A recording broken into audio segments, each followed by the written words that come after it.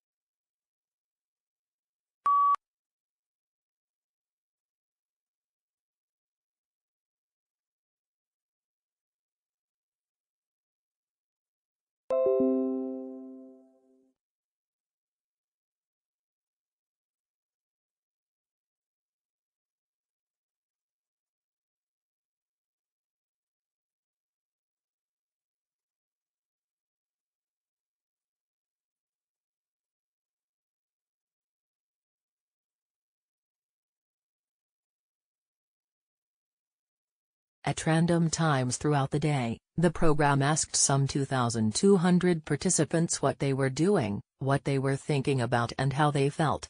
Turns out that people spend nearly half their waking hours thinking about something other than what they're doing. And that whether and where their thoughts tend to stray is a better predictor of their feelings than what they're actually up to.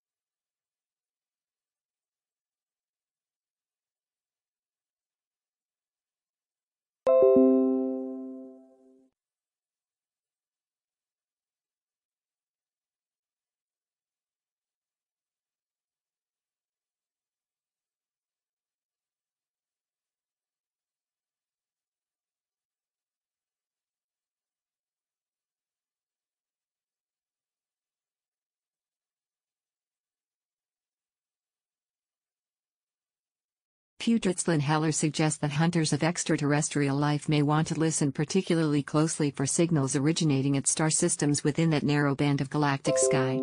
Advanced civilizations there may have already detected us using the transit method, they say, and may now be sending us a message. You might think of this paper, then, like a treasure map, for intelligent life.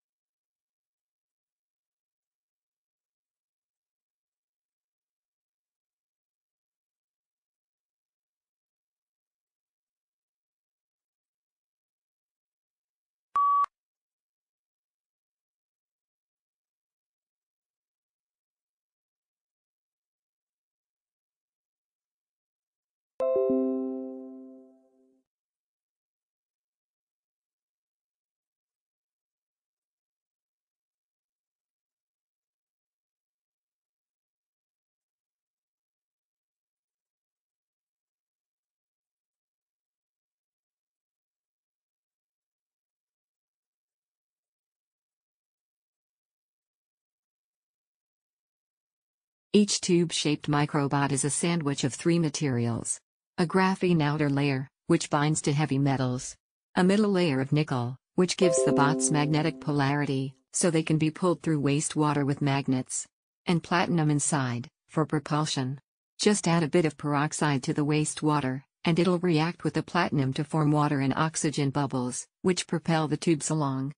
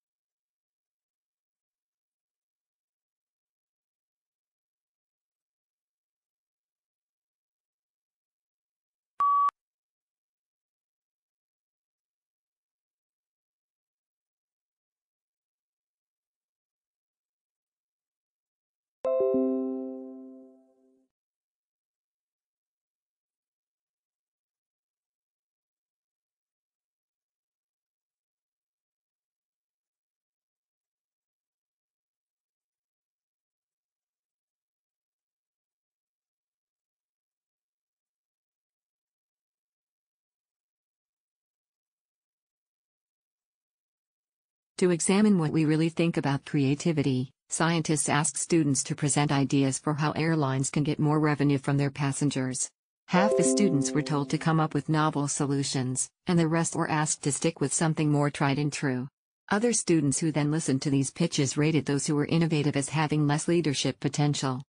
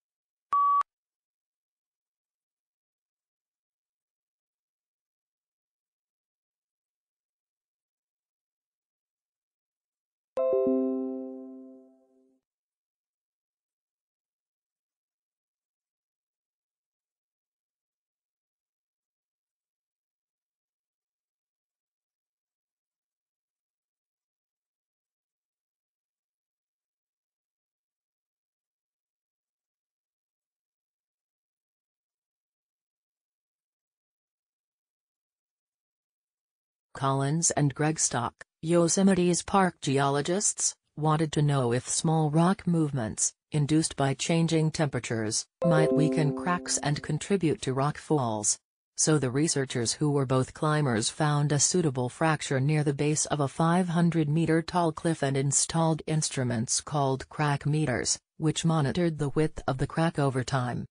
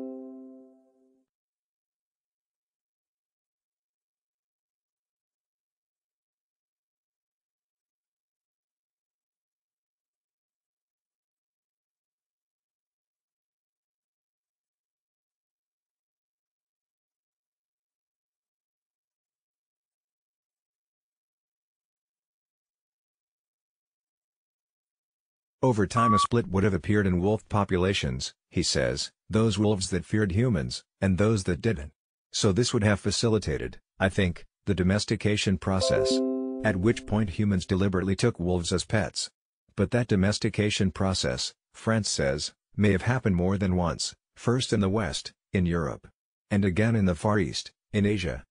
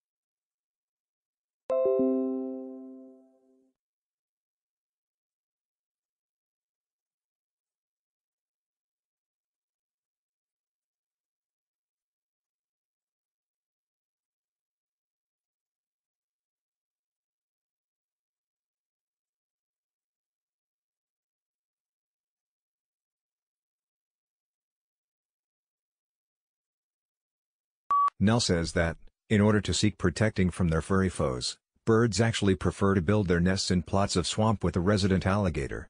In fact, in one study a graduate student planted fake alligators. The birds seem to prefer to build nests close to them. Where there's a water source, there are alligators, so it's sort of this mode of protection around these colonies.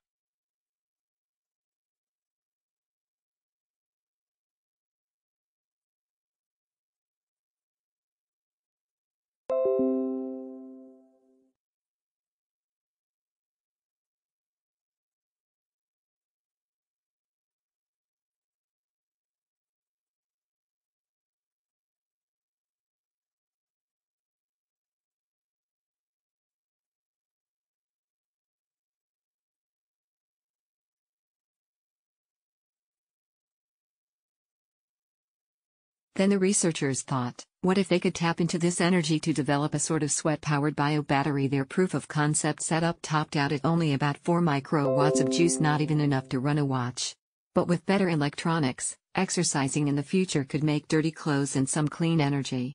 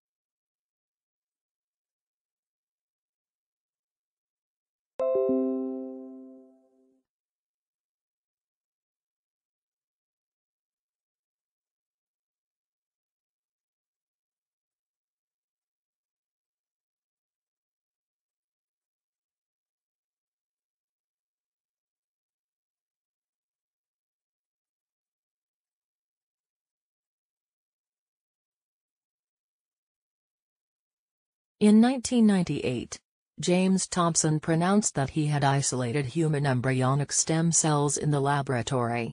At last, these powerful cells were within the grip of scientists to experiment with, understand, and develop into fixes for the things that go wrong.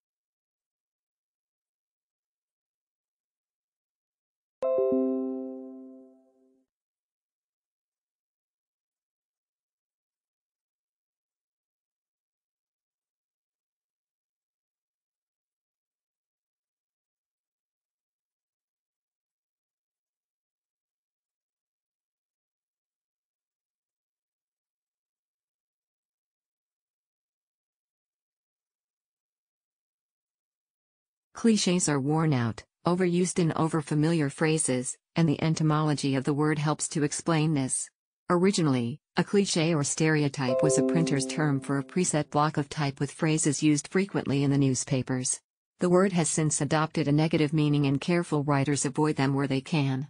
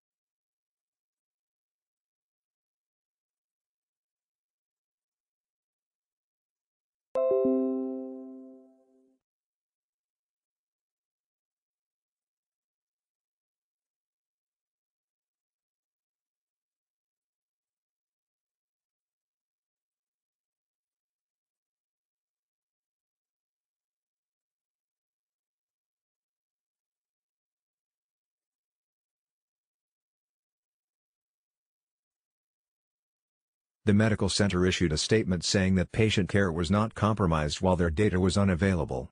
Still, it's unsettling to hear that a hospital is shut out of parts of its own computer systems and unable to communicate electronically.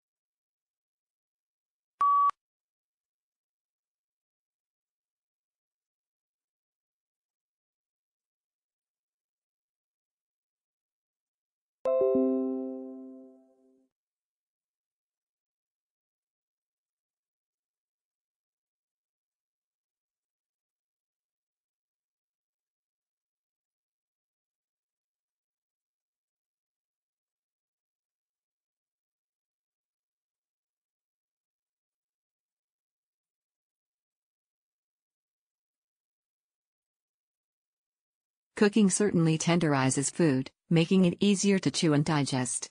But evidence for human cook fires goes back only about 500,000 years, if that.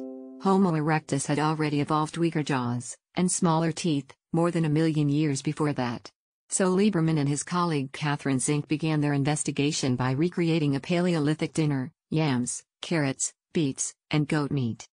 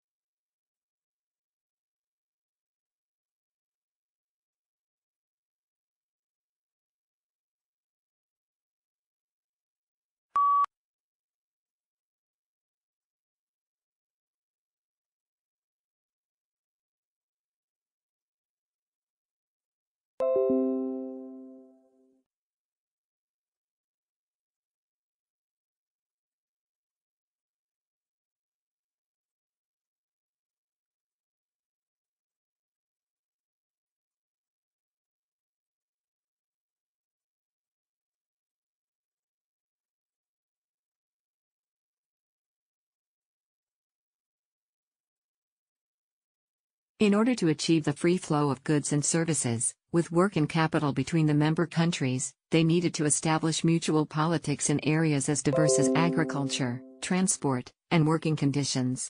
When they had agreed on these policies, they became legal. Now, though, the EU is concerned with a far wider range of issues.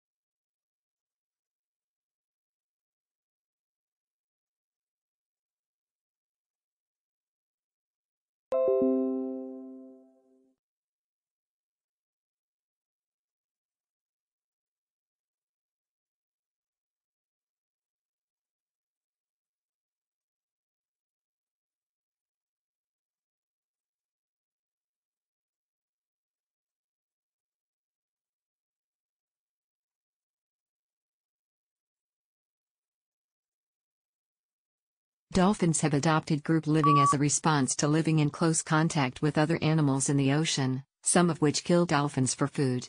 Living in social groups makes it easier to hunt for food and, in a dangerous environment, it makes sense in terms of safety to move about in large numbers.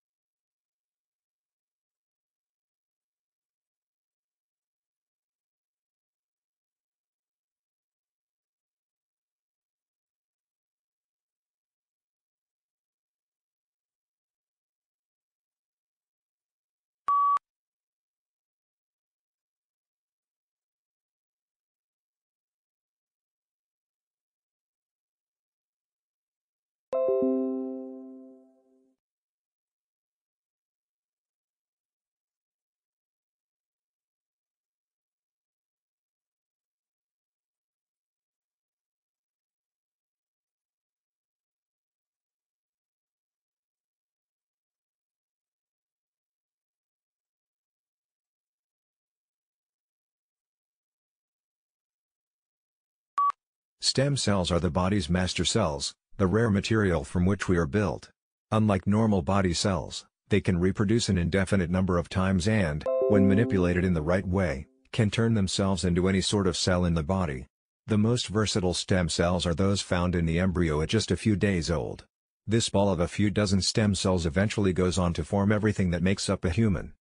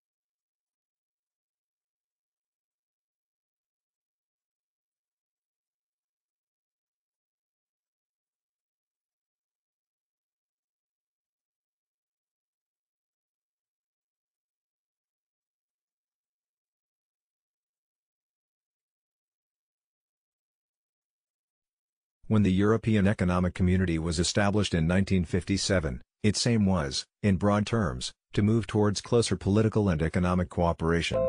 Today, the much bigger European Union has a far-reaching importance on many aspects of our lives, from the conditions we work under, to the safety standards we must adhere to, and the environment in which we live.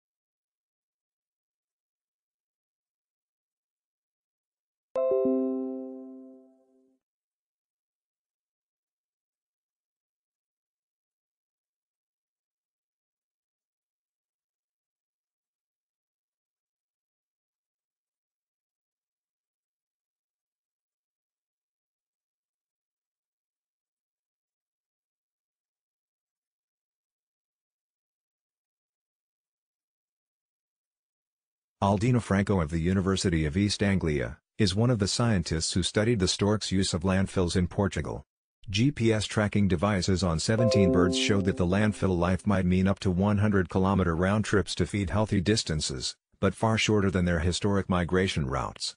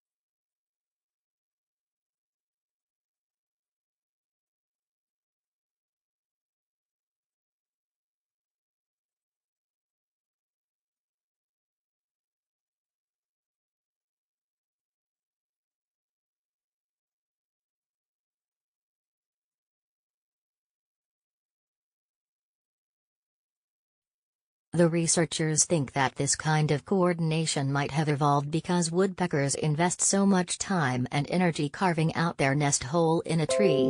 If they were kicked out and had to start over, they might not get a chance to reproduce and fledge their offspring.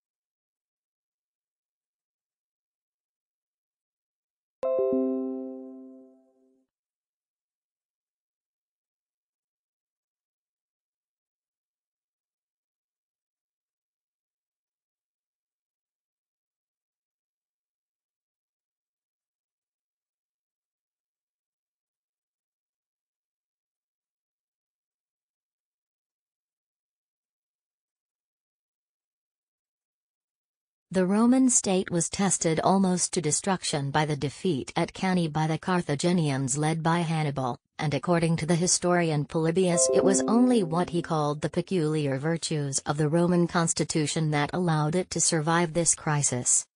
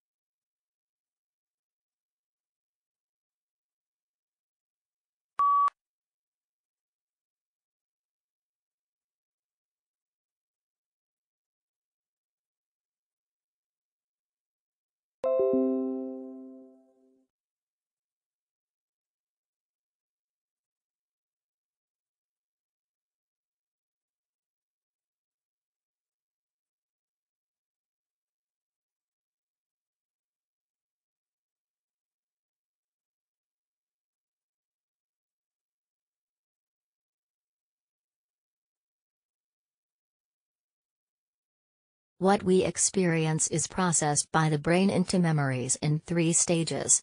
First, there is the sensory input, which is momentary. This is then stored in the short-term memory. If this experience is important or meaningful to us, we will reinforce the memory, possibly by repetition, and it will then be stored in the long-term memory.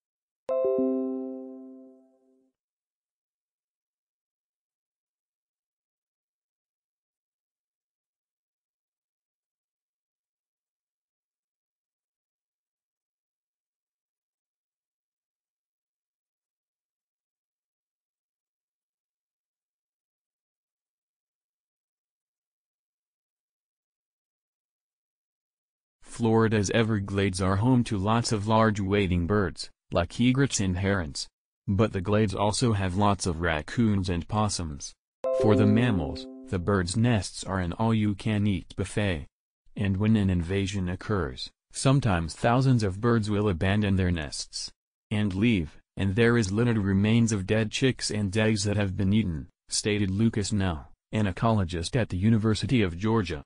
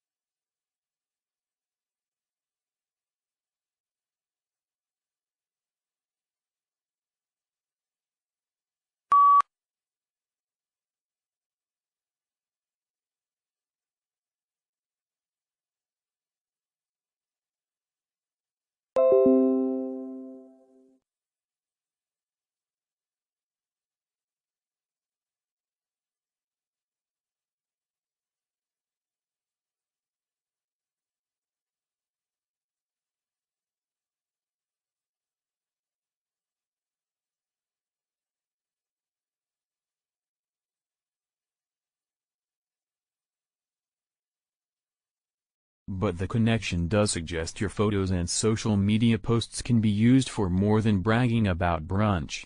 Sharing this data could be so valuable for academic research. We can actually use this data to do something good in the world.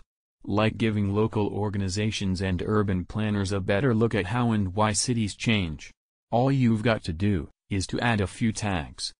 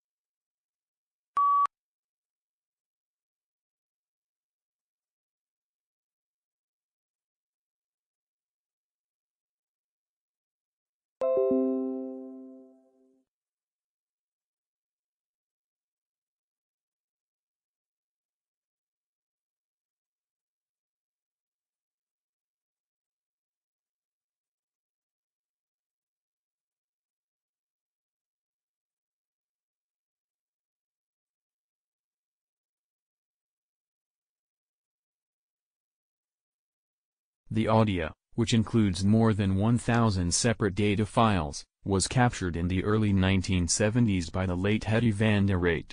She recorded the various screams, barks, and howls made by a group of chimps, including 17 youngsters, living in the Gombe National Park in Tanzania.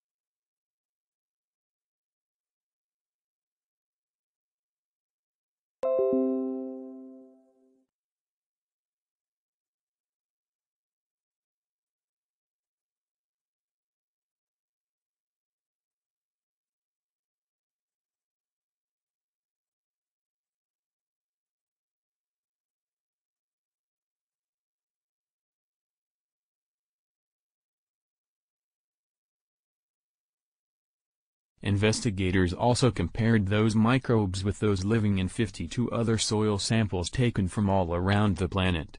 The park had organisms that also exist in deserts, frozen tundra, forests, rainforests and prairies.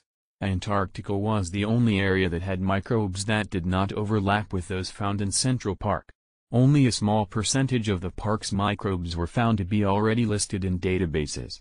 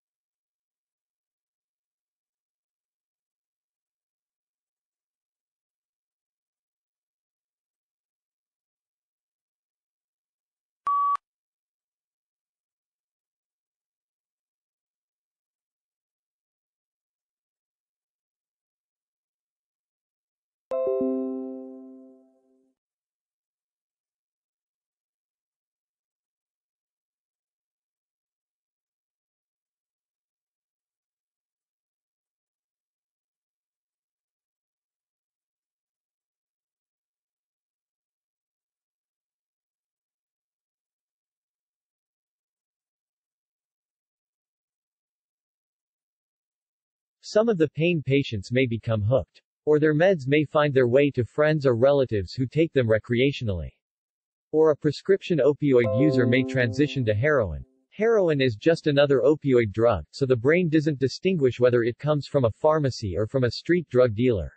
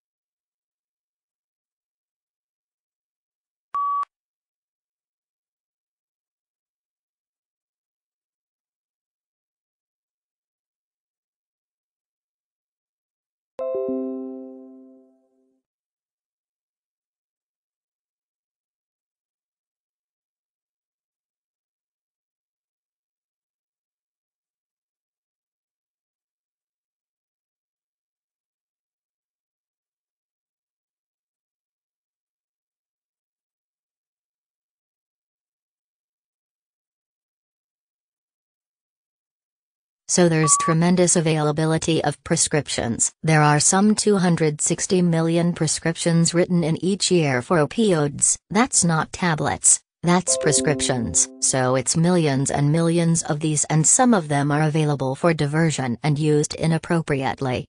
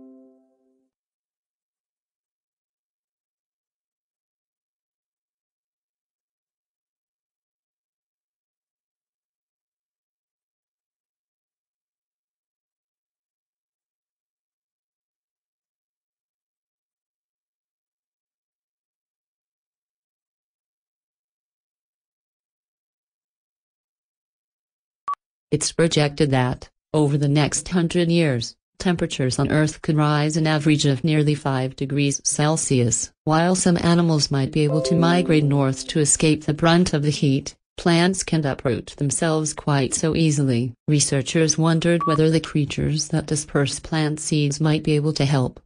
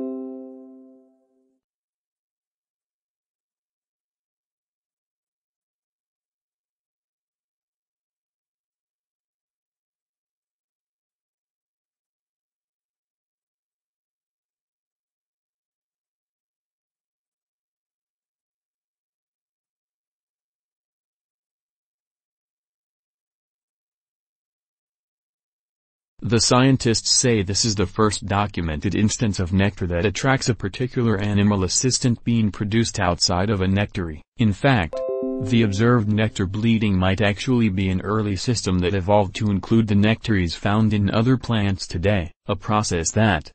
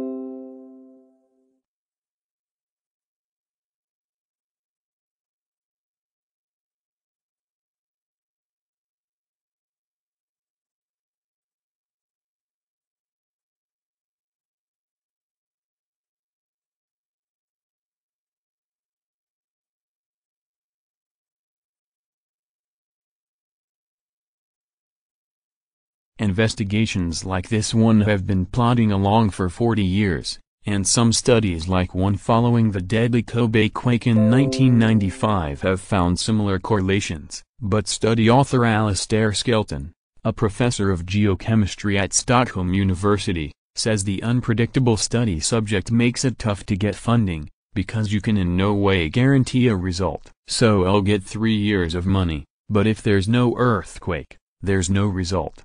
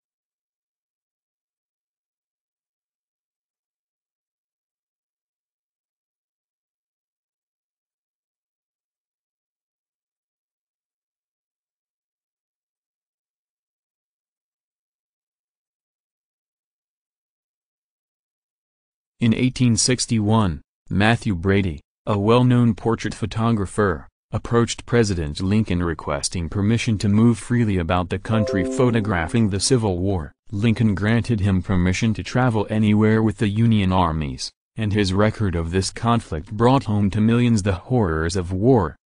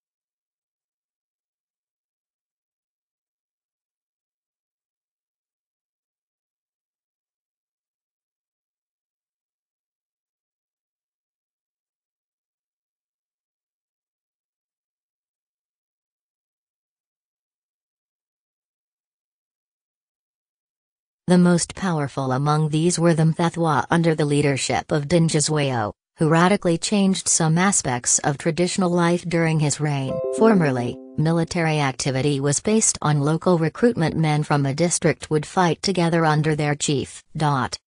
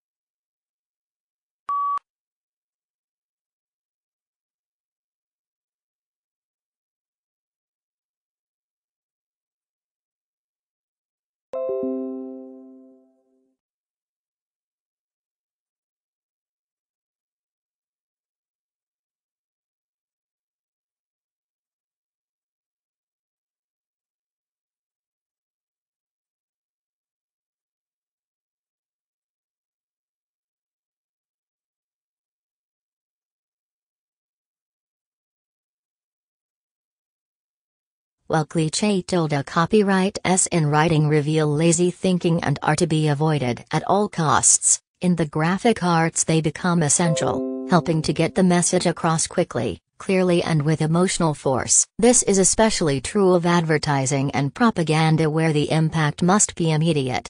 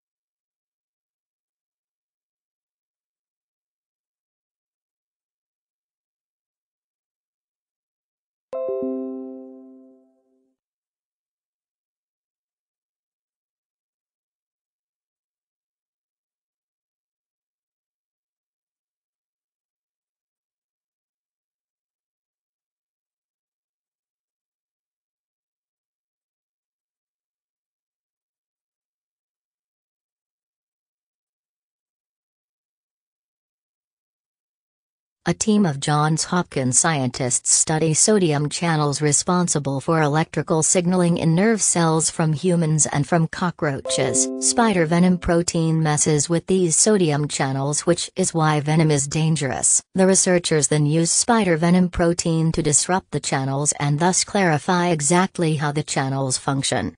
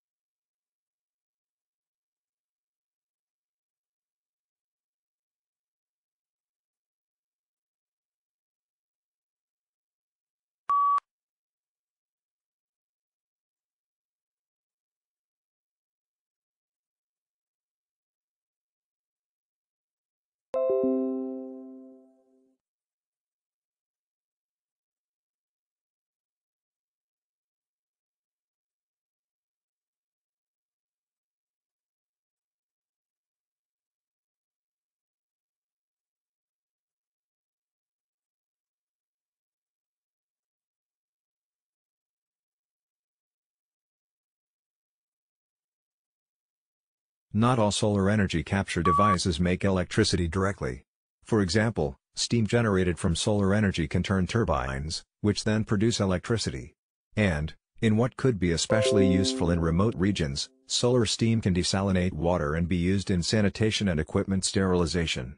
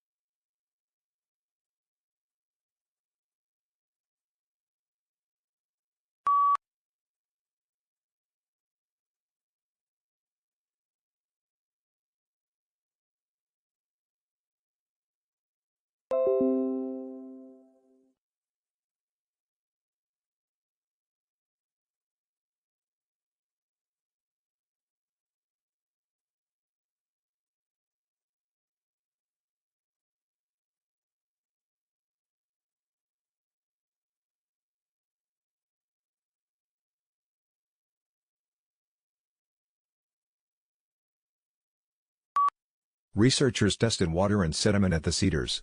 Some samples got dosed with mercuric chloride to kill any life present. Those dosed samples produced no methane. But the samples in which microbes were allowed to survive did put out methane, confirming that at least some of the methane at the springs is indeed biological in origin.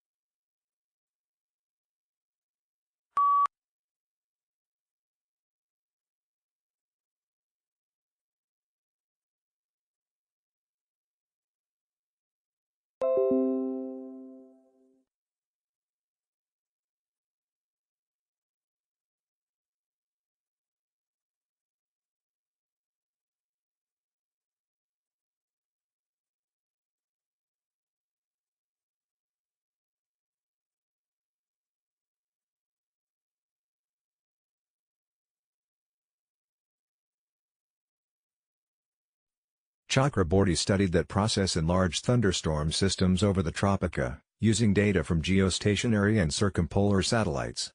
He found that when more aerosols seed the air, like in places with lots of industrial or agricultural pollution, the same amount of water vapor gets absorbed by a larger number of aerosols. Meaning tinier than usual cloud particle size.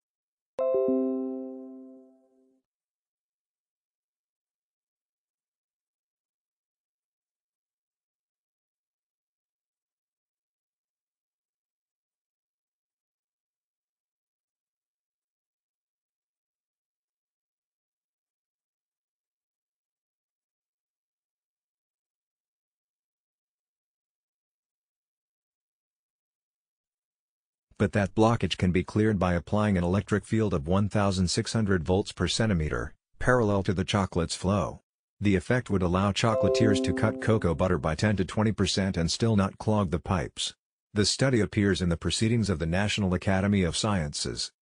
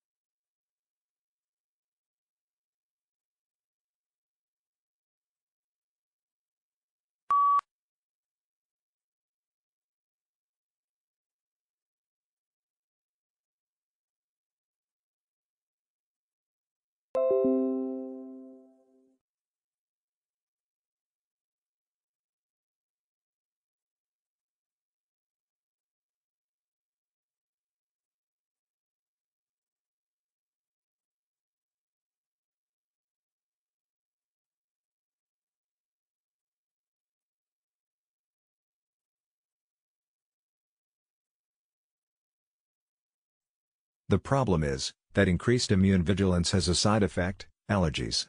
Our speculation is that this is some kind of trade-off. In the past you needed to resist some kind of pathogen, and the trade-off or sacrifice you have to make is increased responsiveness to non-pathogenic allergens. So next time some of you get the springtime sniffles, blame your distant ancestor the one with the heavy brow ridge.